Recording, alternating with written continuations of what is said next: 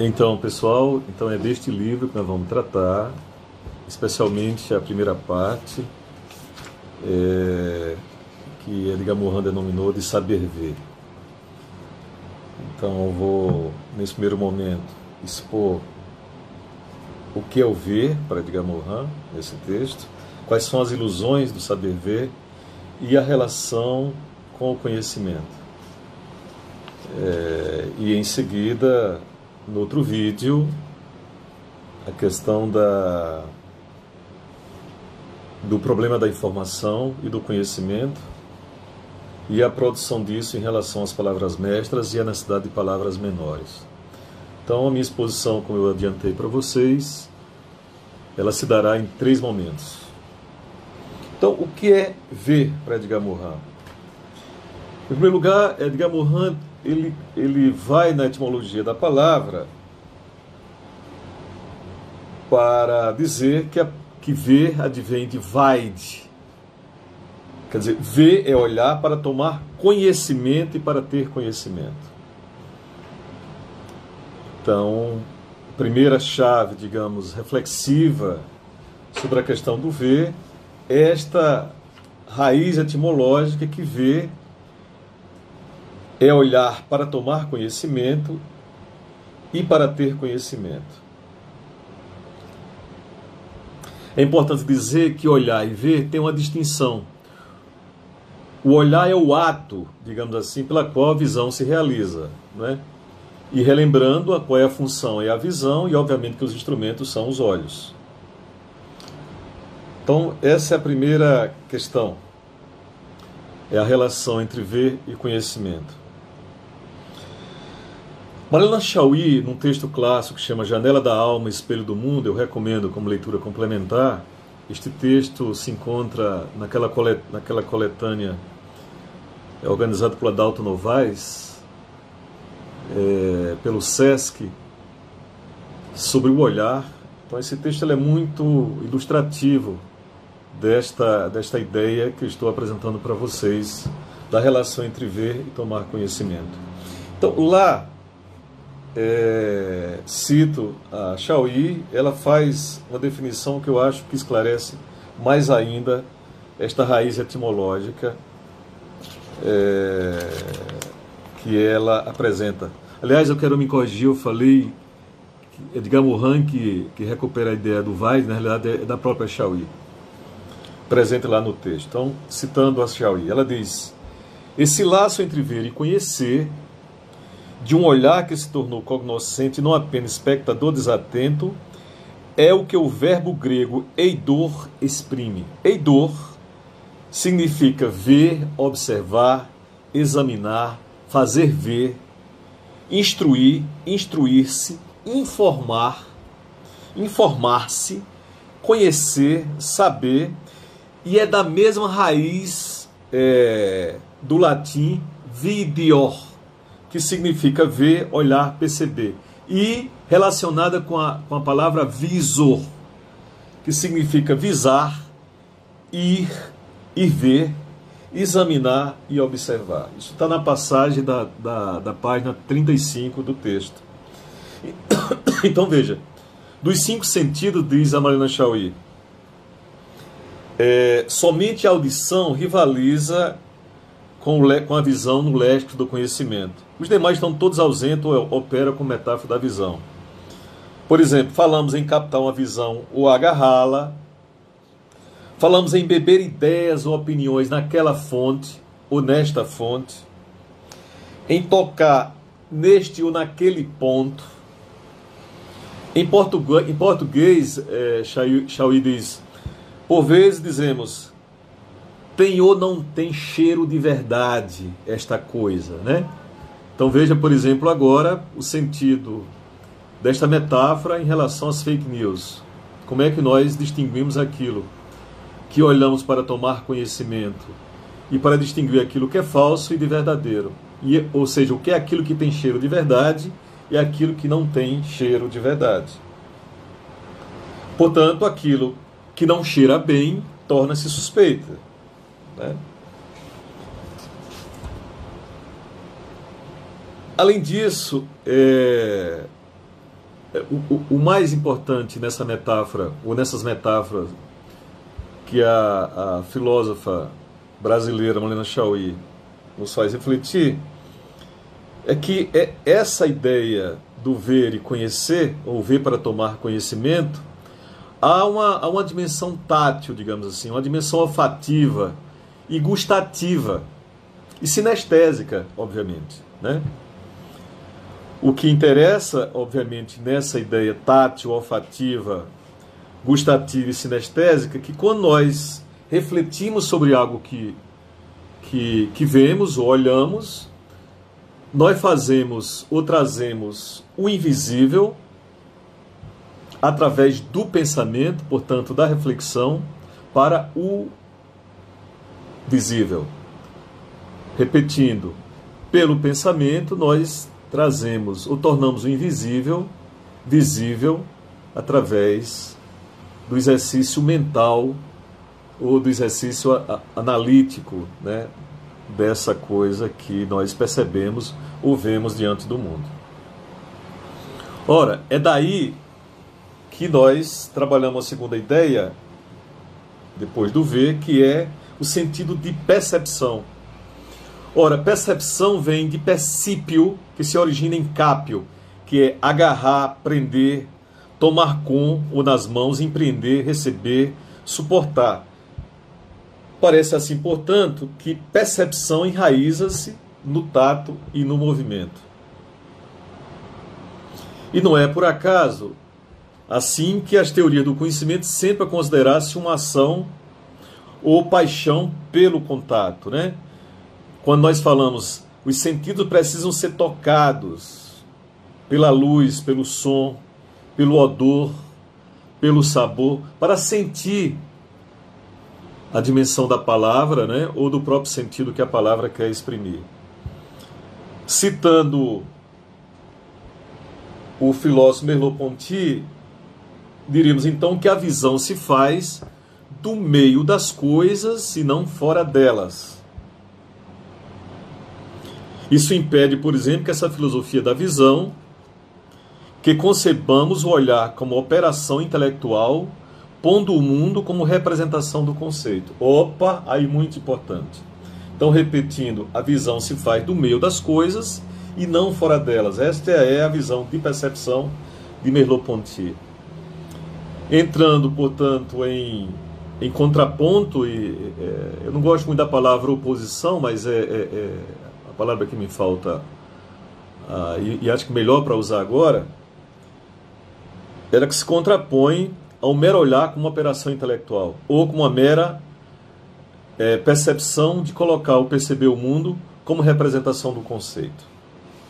Então, é, dito e feita esta primeira exposição geral, né, digamos, do sentido etimológico do, de ver, né, como vai, de que é, é, tomar conhecimento né, e ter conhecimento, e distinguir com a dimensão do olhar, e portanto dizer que a visão se faz, ou ver se faz, do meio das coisas e não fora delas, e, e portanto não é uma mera representação do conceito, que passaremos é, diretamente e mais especificamente para o texto de Edgar Morin. Veja, e aí ele começa no texto trabalhando a dimensão do saber ver.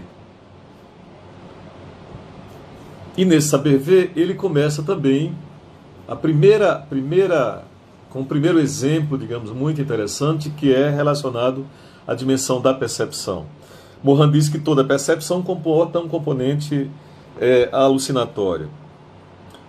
Portanto, dizer um componente alucinatório da percepção é determinado não por um fator irracional, mas por um princípio de racionalidade. Opa, vamos trabalhar melhor isso. Qual é o exemplo que Mohan diz, ou cita aí no texto, perdão, para dizer que que mesmo a irracionalidade comporta um princípio de racionalidade. melhor dizendo, que o componente alucinatório da percepção é determinado não por um fator irracional, mas por um princípio de racionalidade. Veja que interessante. O exemplo que ele dá no texto, vocês vão lembrar aí, que era racional que o grande atropelasse o pequeno, porque aquela racionalidade dava coerência à visão dele. Ele está se referindo aqui ao, ao, ao acidente né, que acontece no trânsito, onde um carro, ao barrua a, a motocicleta, e portanto, pela, pela racionalidade da percepção né, é, na mente do Muhan, foi o grande que bateu no pequeno. Portanto, o choque produziu, digamos, uma racionalização imediata na percepção do próprio Edgar Morin. Mas, diz ele, como é que a, como é que a, a, a alucinação ou a percepção foi esclarecida? Na medida em que uma nova informação afastou outra. Quando ele tomou conhecimento, por exemplo, que foi o pequeno que bateu no grande, e não o contrário. O que interessa dizer aí é o seguinte, que diz o Morin, é que a emoção desempenhou um papel ligado à racionalidade representativa. Quer dizer, a imagem do grande abalroando o pequeno associa a imagem do fraco pelo forte. Esta é a dimensão emotiva, digamos, que tomou conta da racionalidade do nosso grande Edgar Morin. Na citação da página 25, diz ele: Portanto, é, e o temor pelo ferido, ligando-se ao sentimento da injustiça, reforçava a certeza da minha percepção. Quer dizer, essa ideia ética né, que também está presente na, ideia, na, na percepção. Mas, obviamente, que ele não estava implicado diretamente na colisão, né? E, portanto, o choque material e moral não foi tão significativo assim. Por isso, o componente alucinatório da percepção dele pôde ser eliminada desde as primeiras indicações que ele corrigiu quando chegou a informação nova que tinha sido o pequeno que tinha batido no grande. Ou seja, fora o pequeno que atravessou o sinal vermelho e não o carro maior. Resumindo, portanto, esta passagem de que a percepção comporta um componente alucinatório, é importante dizer o seguinte: assim, não é somente a intrusão de um componente alucinatório afetivo ou mágico que nos pode enganar. É também o componente aparentemente lógico e racional. O que, é que era racional? O grande bater no pequeno. Né? Em outras palavras, devemos desconfiar na nossa percepção tanto daquilo que parece absurdo, como também daquilo que parece, que parece evidente, porque lógico e racional. Aqui é muito interessante nós desmistificarmos aquela, aquele velho chavão que adoramos falar, né? que a imagem vale por mil palavras. Balela, mentira. É? Ao contrário, na própria palavra você pode ter milhões de imagens escondidas sob ela. Né? Como, por exemplo, na página 24, onde ele, ele faz um segundo. Ele, é, o Mohan fornece um segundo exemplo dessa alucinação em relação à palavra ero ao invés de erro. Né? E ele se pergunta quantos que leram o texto perceberam esta dimensão é, de um equívoco, né, digamos, na, na, na palavra. Portanto, a digitalização foi feita, mas é óbvio que a, a organização racional do nosso olhar faz com que aquilo pareça algo coerente, portanto, uma percepção que não apresenta erros no primeiro momento. Portanto, a alucinação em Edgar Morin para pensar a percepção e, portanto, para o saber ver é fundamental. Portanto, repetindo, toda percepção é reforçada por uma componente ou por um componente alucinatório. Mas o mais importante que diz Morin, não há uma diferença intrínseca, né, entre o plano da representação, perdão, no plano da representação entre percepção e alucinação. Eu não sei se está claro isso. Repetindo, é, para reforçar e para fixar melhor esta ideia de que toda percepção reforçada por um componente alucinatório. É porque também não há diferença intrínseca no plano da representação entre alucinação e percepção. Né? Quer dizer, há uma componente de racionalidade naquilo que eu percebo. Deixando mais claro isso, né? vamos usar o explicare, que é desenrolar os argumentos, né? Ou como diria o, o Descartes lá em, no método, é construir cadeias lógicas de raciocínio. Diz a visão do alucinado tem as mesmas características que a percepção real para o não alucinado. Por quê? Porque a visão deste alucinado é dotada também de um sentimento integral da realidade. Né? Portanto, real é aquilo que eu percebo como realidade faz sentido na minha percepção. Portanto, a percepção é um, é um processo circular que se faz na projeção, sob a forma de visão, da representação mental sobre fenômenos exteriores dos quais se originam. Repetindo, uma primeira definição portanto, de percepção, na página 26, diz Morin, a percepção é um processo circular que se realiza na projeção, sob a forma de visão, da representação mental sobre fenômenos exteriores dos quais se origina. Nesse sentido, todos, em casos extremos, por exemplo, podem estar sujeitos a alucinações. Por exemplo, em situações de cansaço, de estresse, condições de, condições de angústia, exaltação e coletivos. Por exemplo, esse momento que vivemos no mundo, né? Atravessamos o problema da, do Covid-19 do COVID ou do coronavírus. Certamente é, há muitas componentes alucinatórias diante do que está se produzindo com este fenômeno muito fenômeno de estresse. Portanto, a percepção sobre o fenômeno tem uma componente de muita alucinação também.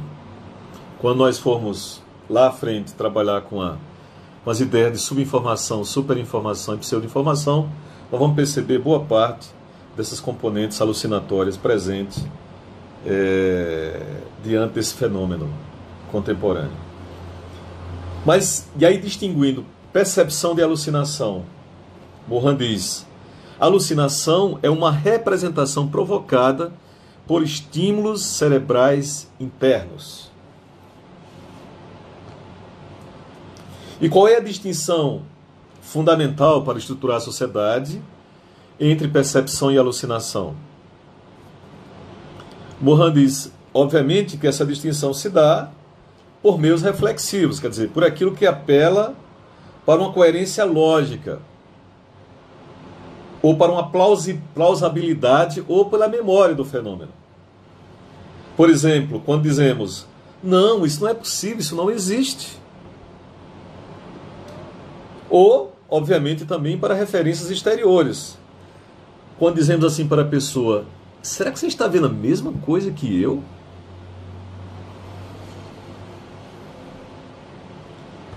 Portanto, a não é plausível, por exemplo, que um livro seja um copo com água. Não é? Na, portanto, na memória dos sapiens demos, que somos todos nós, não é? há uma memória coletiva que percebe o, o copo que serve para determinadas funções na sociedade e o livro para outras funções. Portanto, não é plausível Portanto, não apela para uma coerência lógica dizer que copo é a mesma coisa que livro. Não é? Embora, no terreno da metáfora, da metáfora, podemos dizer que bebemos naqueles livros, naquelas fontes, não é? mas não da, do ponto de vista da experiência objetiva, da função que os objetos exercem na memória social. Então, esta é a primeira distinção, digamos assim plausibilidade, a memória dos objetos, né, ou dos fenômenos, para dizer que isso não, isso não é possível, isso não existe. Né? Por mais que alguém esteja dizendo que o copo faz com que eu leia e o livro faz com que eu beba. Tá? Espero que isso esteja claro. Ou referência exterior, essa que eu acabei de falar aqui. Não, você não está vendo a mesma coisa que eu, óbvio. Que copo e livro são coisas diferentes. Então não é só o mecanismo, digamos, dos estímulos cerebrais internos. Né?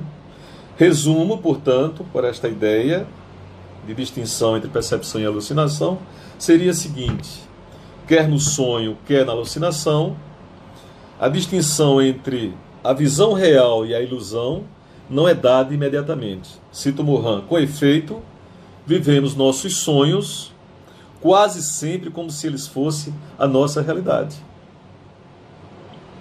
Quais são as estratégias, portanto, é, que o Mohan sugere de elucidação da alucinação? Claro, é, é muito fácil desmonrar elucidar quando, quando a alucinação é muito extravagante, né? Quer dizer, quando aquilo que experimentamos é muito, é muito, muito forte, digamos assim.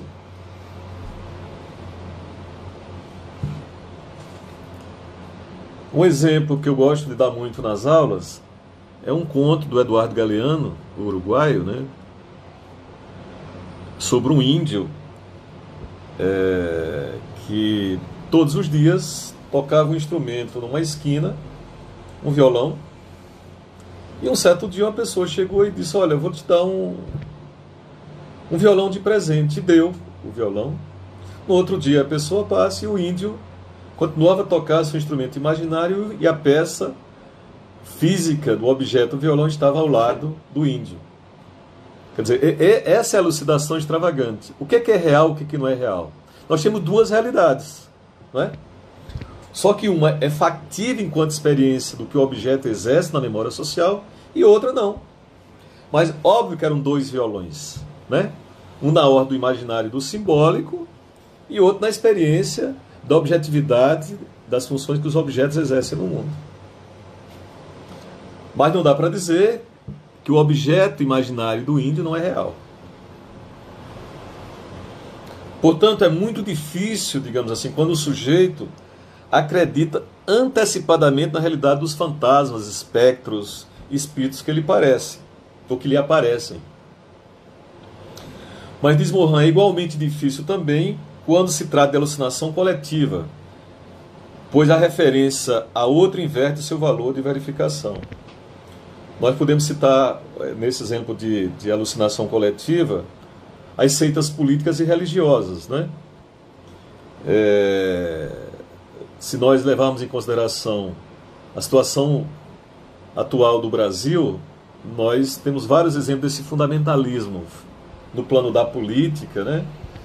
É, subsumido, digamos aí, numa ideologia fortemente teológica e por vezes moralista em relação, por exemplo, à questão da sexualidade, do gênero, é, fazendo com que surja no, na esfera política na esfera coletiva um, uma ideia de um sujeito do mal, né, do sujeito da impureza social, que são aqueles, por exemplo, que pensam o diverso na sexualidade, que pensam a política de outra maneira é, o que pensa, por exemplo, a, inclu, a inclusão de tudo que é diferente na esfera coletiva. Que pense no plano da democracia, por exemplo, né? Quer dizer, que pense no plano, como diria Edgar Morin, onde inclua o antagônico, né? O divergente, mas também que inclua a complementaridade. Esse é o plano, digamos, de uma verdadeira democracia cognitiva. Então, as seitas, por exemplo, é, religiosas, eles são muito, muito, muito, é, digamos, fortemente exemplares desta, desta visão que Edgar Morin está chamando a atenção. É muito difícil você fazer a elucidação daquilo que é uma, uma alucinação daquilo que não é, é o, que é uma, uma percepção que, portanto, que tenha plausibilidade, tenha memória de racionalidade social. Porque eles acreditam piamente naquele fundamento alucinatório. Ou seja, ele diz: isto é real. O exemplo prático que nós tivemos no Brasil nas eleições de 2018 foram a quantidade de fake news né, que o Brasil experimentou. O, é, o exemplo mais objetivo que circulou em WhatsApp, por exemplo, em grupo de WhatsApp, foi a famosa mamadeira de piroca passada pelos grupos bolsonaristas, especialmente é, em grupos familiares e religiosos é? tentando incutir que um determinado candidato com ideia diferente traria, por exemplo, a ideia de destruição da família é, harmoniosa, pura e etc. Né? Num plano mais universal, você pode pensar, por exemplo, o Estado Islâmico, né? onde reivindicam a pureza de um mundo mítico imaginário, de um sujeito que tem que se livrar de todo e qualquer ofensa do Ocidente.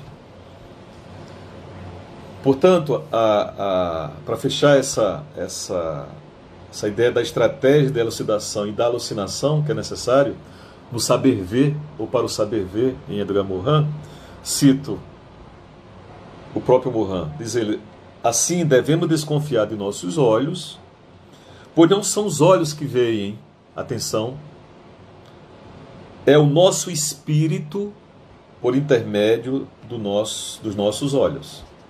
Quer dizer, é a nossa, é a nossa mente que, que, que vê através dos nossos olhos.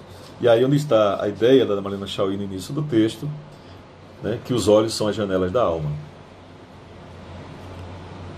É, como ilustração disso, eu relembro aqui eu não, não, não disponho agora aqui, mas como exercício para vocês em casa ou quando puderem olhar, é uma reflexão que Michel Foucault faz de um quadro do pintor surrealista belga René Magritte, que chama-se A Traição das Imagens.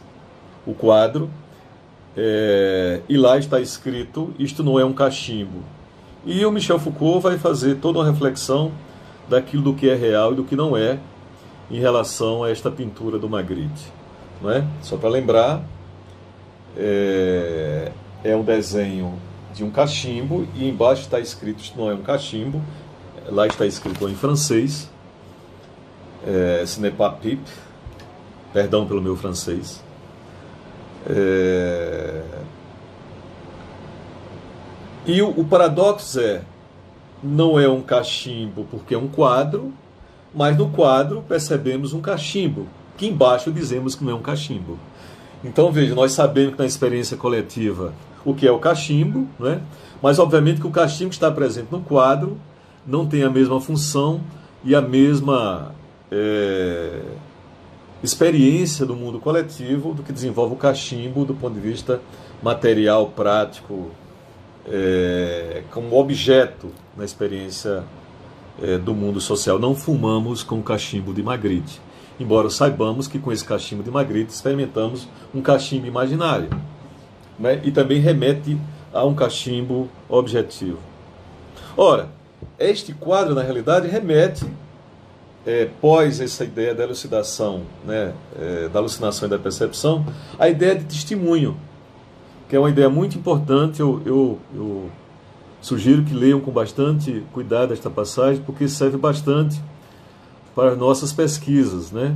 Na realidade, o que nós somos, na realidade, é, é, é testemunhos quando fazemos teses, dissertações, TCCs, quando construímos as nossas pesquisas. Né?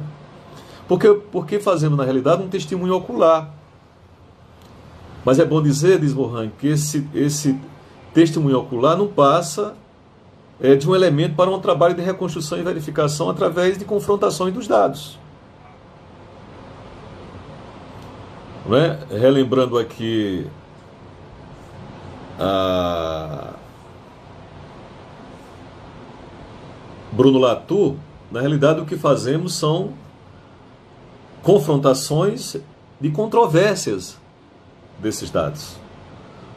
É? Então, é, é assim que fazemos com as nossas pesquisas. Nós recebemos, nós temos nossos insights, recebemos as informações, não é? para transformar em conhecimento a partir da verificação e da reconstrução desses dados que recebemos e das confrontações. Portanto, confrontações e controvérsias é o que fazemos o tempo inteiro. É, com, com o testemunho ocular que, que, que exercemos. Ora, e o que fazer com as informações e ou com os dados de nossa pesquisa? Mohan relembra que não devemos esquecer que a palavra pesquisar significa buscar informação sobre algum, algum assunto, etc. E a palavra pesquisa significa pesquirere. Pesquirere, diz Mohan, etimologicamente significa procurar cuidadosamente. Pesquisar cuidadosamente. É assim que nós fazemos, repetindo, com as teses, com as dissertações não é? num texto, é, num relatório de pesquisa, para um TCC ou para uma publicação em artigo, é o pesquisar cuidadosamente, é o pesquirere que nós fazemos. Né, para percebermos, a partir das confrontações e reconstrução e verificação dos dados, as controvérsias que aquilo se apresentam na, na pesquisa. Assim, pesquisar é, é uma tarefa de serendipidade. Serendipidade é uma expressão que o Mohan gosta de usar também. Ele diz que esse termo serendipidade é, advém da prática dos arqueólogos, né? Que é procurar cuidadosamente. O que é que o arqueólogo faz, né? Ele descobre lá uma peça, determinado, um determinado informações, um achado arqueológico, ele vai pesquisar aquilo cuidadosamente para reconstruir a história, por exemplo, da civilização. Quer seja animal, quer seja é, do sapiens, demens, etc.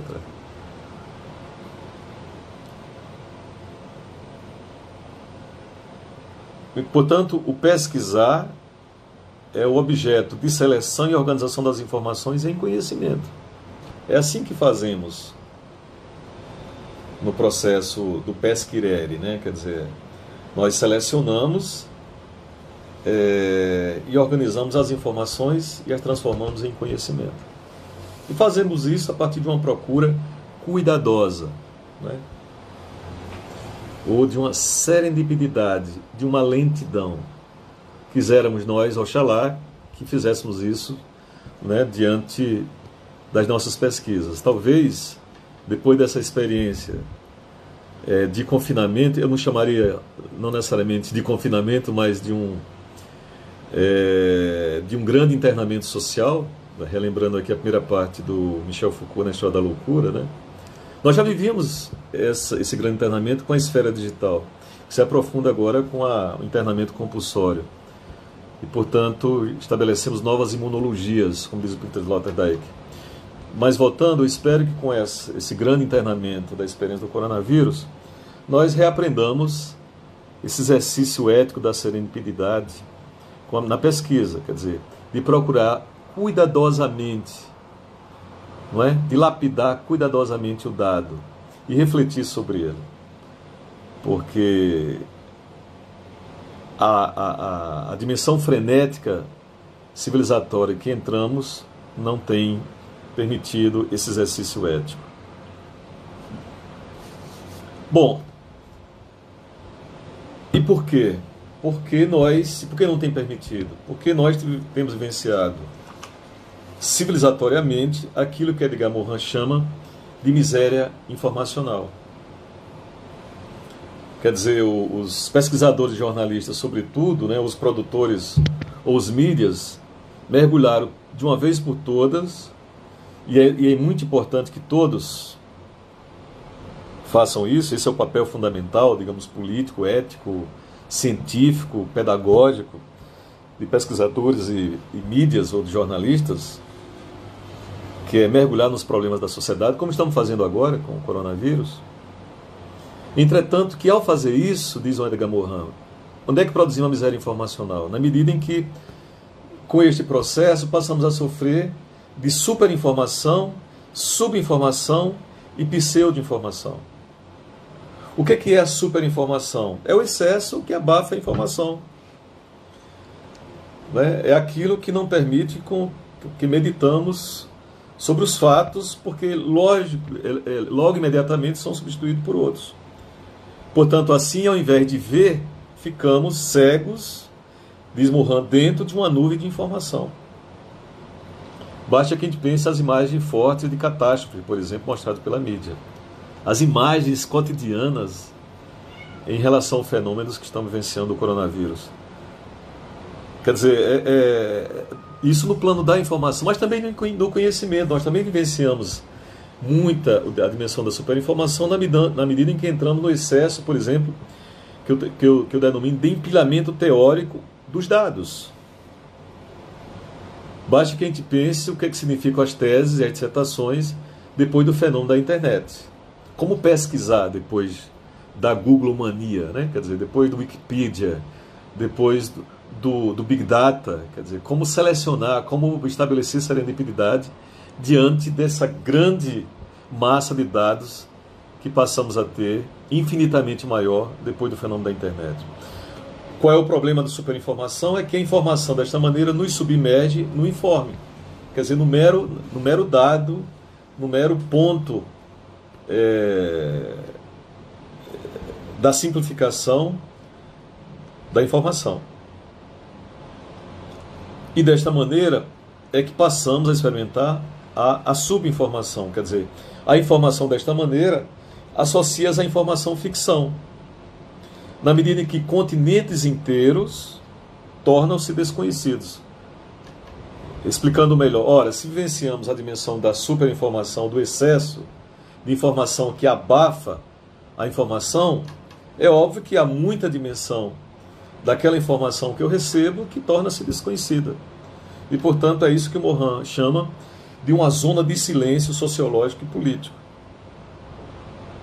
Né? Aí no texto ele vai dar, ele vai dar, ele vai citar a visita de Nixon, por exemplo, à China, né?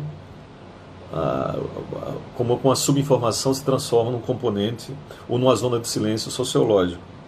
Eu não vou repetir aqui. Ou a era do stalinismo, por exemplo, com a pseudo-informação, ou com o nazismo. O nazismo foi um grande produtor é, de subinformação. Quer dizer, eu, eu, eu, eu construo um cenário é, para um determinado fenômeno, então eu escondo mostrando. É assim, por exemplo, a, as fake news. Ou as deep, as deep fakes, por exemplo, que nós vamos passar a vivenciar fortemente, certamente, nesse cenário pós-coronavírus, se houver eleições em 2020 ou nas eleições de 2022. E é neste, é, é, e pós a subinformação, nós entramos na terceira dimensão da miséria informacional, diz Edgar Morin, que é a pseudo-informação, que na realidade é a mentira como verdade. É aqui a fake news que Morin, num livro de 1981, já apontava como algo fundamental do ponto de vista sociológico. E o que é a mentira como verdade ou a pseudo-informação? É aquilo que não se vê o que é e vê-se o que não é. Assim, o que não é é uma vil calúnia. Repetindo, o que é a mentira como verdade? Não se ver o que é, vê-se o que não é. Assim, o que não é, é. O exemplo as fake news. É? As fake news é, é aquilo que, que não é, mas, e, e, e termina sendo algo verdadeiro. Quer dizer, o que não é, é. E, portanto, não se vê o que é diante daquilo que recebemos. Bom, esta é a primeira parte, digamos assim, da exposição é, voltarei depois, noutra exposição, para falarmos da questão da informação, da distinção em relação à questão da ideologia ou da virtude da própria informação. Tá bom? Voltaremos no segundo, no segundo vídeo para tratar especificamente da informação. Beijo.